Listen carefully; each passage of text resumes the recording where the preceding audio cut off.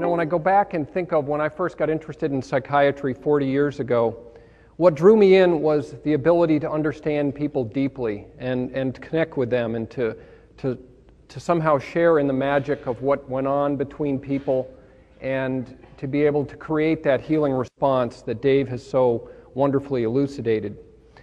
But you know, increasingly over the last 40 years, I've become, I think, disheartened and I've gotten to the point now where I think that much of what's going on in modern psychiatry is actually harming patients, and actually we're creating harm. And, and I'll talk about that. What has really convinced me is that if we're going to create a new method for understanding people and working with people, that I think really honors that core principle that I think is, is often at the heart of uh, holistic medicine, integrative medicine, is first of all, do no harm primum non nocere.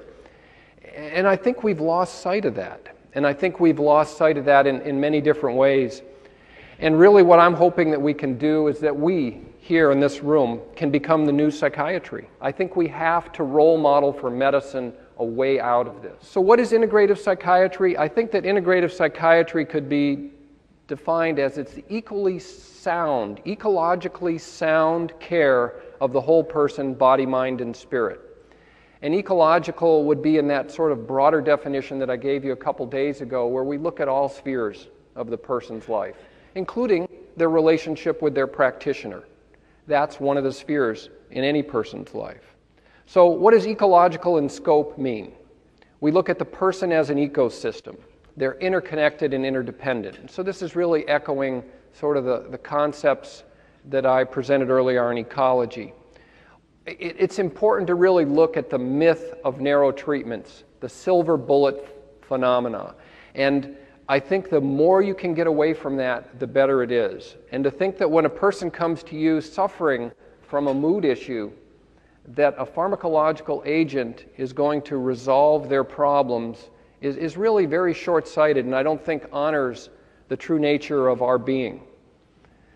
And we also have to look at, as, as Nan Sudak pointed out, the precautionary principle that we really have to be careful of any powerful intervention that may have ripple effects that go well beyond what we've uh, come to know.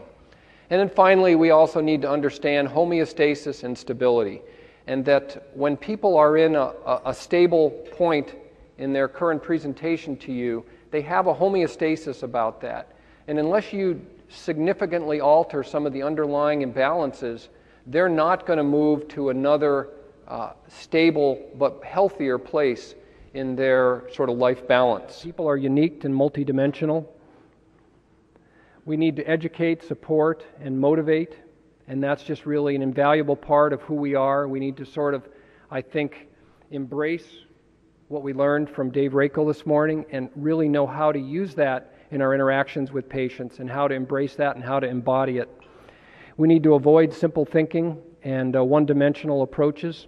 We need to go beyond that and toward a, a, a ecological approach to the patient. We need to strive for balance and harmony, look for imbalances where they occur in patients' lives, and uh, begin to address them. And that's really the foundation for this ecological approach.